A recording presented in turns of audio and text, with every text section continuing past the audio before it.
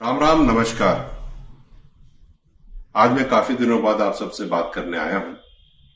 मेरे को रोज फ़ोन आते हैं, हर जगह से फ़ोन आते हैं, पूरे राजस्थान से फ़ोन आते हैं, ये पूछने के लिए कि स्थिति क्या है और गुजर आरक्षण संघर्ष समिति के पास आज की तारीख में जो मुद्दे हैं, उनको हम कैसे आगे बढ़ा रहे तो सबसे पहले मैं आपको ये बताना चाहता हूँ कि कुछ दिन पहले अखबार में और टीवी में आया था कि हमारे बयालीस केस खत्म हो गए तो जब मैं संबंधित अधिकारियों से मिला तो इन केसों की लिस्ट हमारे पास मिल नहीं पाई।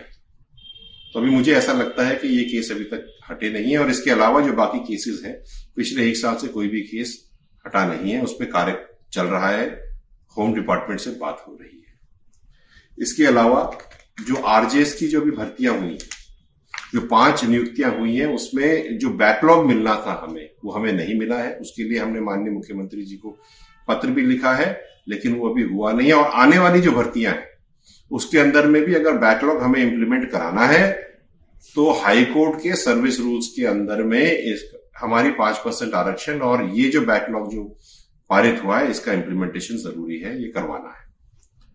तीन सौ बहत्तर, दो सौ तैतीस और पशु चिकित्सक भर्ती, ये भर्तियों के ऊपर डिटेल अभी पेंडिंग है सरकार से, उस पर बात चल रही है। एक रोस्टर प्रणाली अपनी है जिसमें क्या होता है कि जो भी भर्तियाँ होती हैं, वो रोस्टर प्रणाली के तहत होती हैं। इसका मतलब यह है कि पाँच परसेंट आरक्षण जो हमें मिलता है, वो पूरे राजस्थान लेवल पे मिलता है। लेकिन जब भर्तियाँ मिलती हैं तो वो तहसील डिस्ट्रिक्ट में बढ़ जाती हैं। बीस पद पर एक पद अपने को मिलता है, लेकिन जब वो तहसीलों में चले जाते हैं तो अगर पद बीस से कम होते, कहीं पे अट्ठारह, कहीं पे बीस तो हमें वो आरक्षण नहीं मिल पाता। तो एक तरह से हमें आरक्षण मिल भी गया और नहीं भी मिला।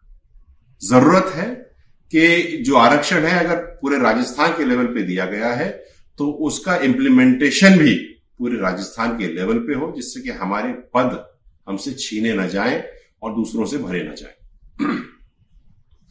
एक डीएनटी सर्टिफिकेट अपना पेंडिंग है, ये बात हमने रखी है। डीएनटी सर्टिफिकेट हम अगर हमको मिलने लग जाएगा हमारी पाँच जातियों को एमबीसी की को तो जो सीड की जो स्कीम्स हैं, वो हमें मिलने लग जाएँगी। बहुत सारी स्कीम्स हैं, विदेश में पढ़ने के लिए बच्चों को पैसे मिलेंगे।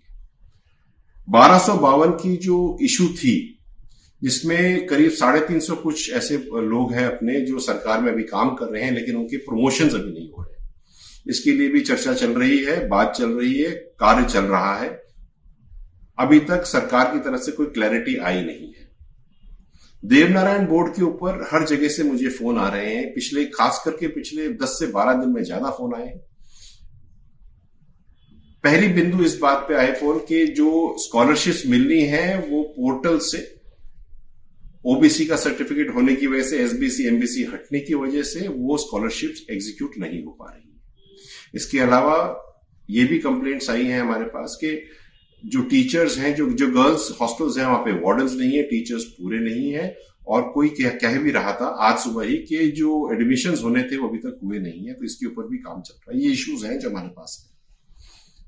मैं आप सबसे ये कहना चाहता हूँ कि इसके अलावा एक बहुत बड़ा मुद्दा जो है, वो है नवी अनुसूची का।